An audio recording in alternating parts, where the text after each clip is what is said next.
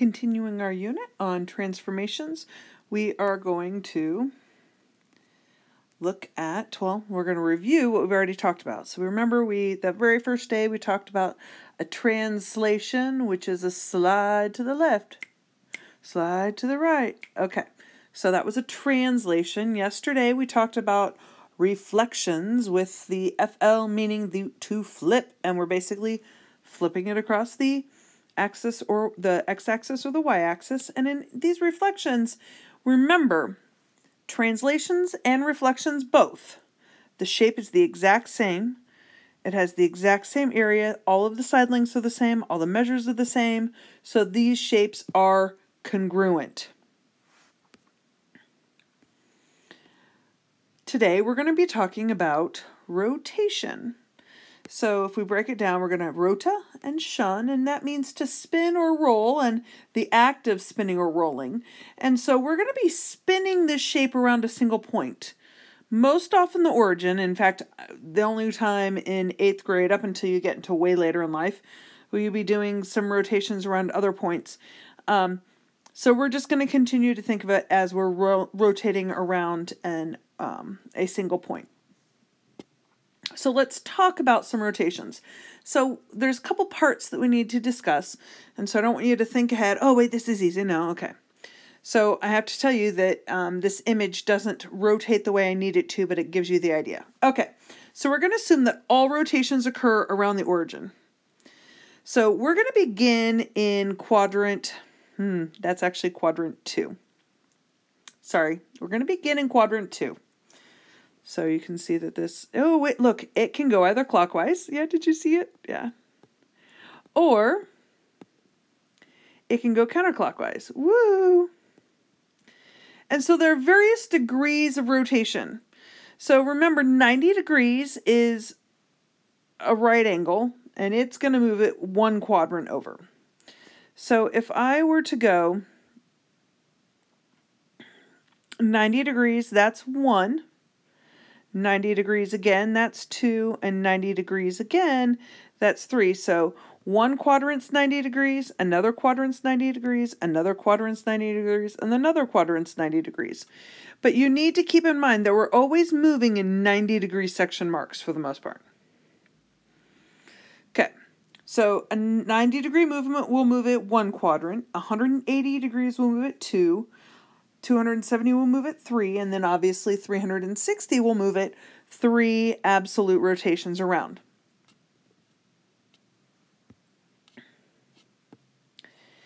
So the next part I'm going to ask you is going to, we're just looking, we're analyzing. It's it's a little harder when it's a point, but okay. If we rotate point A around the origin and we go clockwise 90 degrees.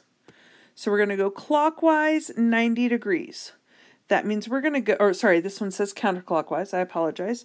That means we're going to go to the left 90 degrees. Which quadrant will it land? Remember, this is one, this is quadrant two, this is quadrant three, and this is quadrant four. So where is it going to land if it goes 90 degrees counterclockwise? Clockwise, counterclockwise is to the left, 90 degrees is one qu quadrant, so it's going to land in quadrant three. If we decided to go rotate it clockwise this time, 90 degrees, so instead of going counterclockwise, we're now going to go clockwise 90 degrees. What quadrant is it going to land in? Quadrant 1. And if we go counterclockwise 180, well, that's to the left 1 and to the left 2. That means it's going to land in quadrant 4. And what if I go clockwise 180? Well, it means I go into quadrant 1 and then I go in. Oh, wait, I also land in quadrant. Wait. So is it the same point if I land in quadrant 4 both ways? Yes, because it doesn't matter if you turn to the right or turn to the left. If you go 180 degrees, you go all the way around. What happens if I go, excuse me, Clockwise, 270. Well, clockwise means I'm going to the right. That's 90. That's 180. That's 270. It's going to land in quadrant 3. What about counterclockwise? 270. I'm going to erase all these marks because it's kind of hard for you guys to see. Counterclockwise means I'm going to go backwards to the left. That's 90. That's 180. This is 270. So it's going to land in quadrant 1.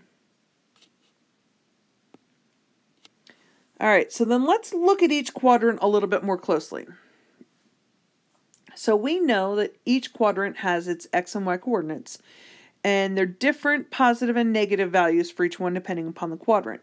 So in quadrant 1, every single one of the x and y values are positive positive. In quadrant 2, all of the values are negative positive. So all of the x values are negative, and all of the y values are positive. In quadrant 3, all of the values are negative, negative. And in quadrant 4, all of them are positive negatives. Why are you talking about this? This is ridiculous. We've been doing this forever. Yes, I know. This is important. When we're talking about rotations, we're going to notice something that happens as we move 90 degrees. And we're going to notice something that happens when we go 180 degrees. And we're going to notice things. But the hard part about rotations, more so than anything else, is figuring out where my shape lands. And if my shape lands in quadrant 4, then I have to remember that no matter what, that its x value is always going to be positive and its y value is always going to be negative. If after my rotations, my shape lands in quadrant 3, I've got to remember that my x values are always negative and my y values are always negative. So it's important. We're going to look closely at these coordinates, but it's important to notice what are the x and the y values. Okay. And we always have to pay attention that our x and our y coordinates match the coordinates of our um, the coordinate we're in. So let's talk about, hey, are these resulting shapes similar or congruent before we actually start doing it? Remember, congruent means that it's the exact same shape, the exact same angle measures, the exact same side lengths. It has the exact same perimeter, it's got the exact same area.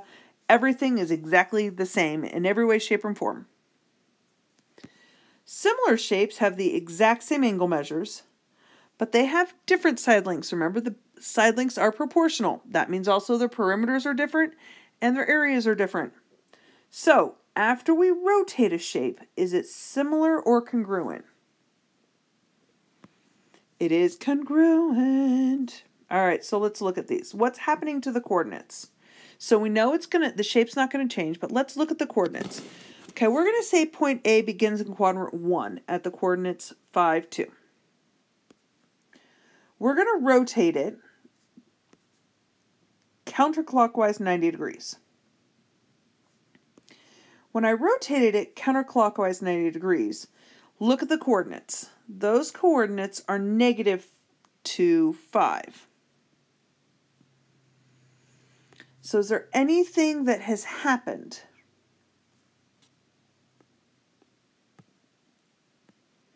If you notice, our x and our y flip-flop.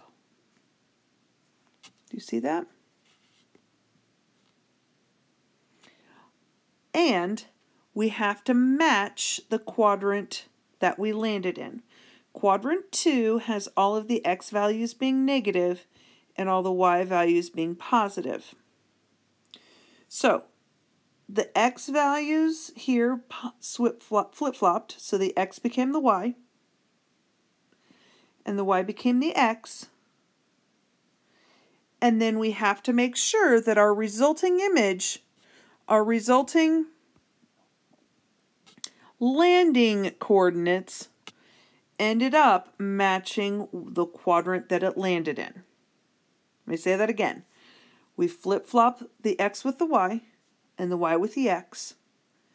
And then we make sure that the quadrant we land in matches its negative and positive values.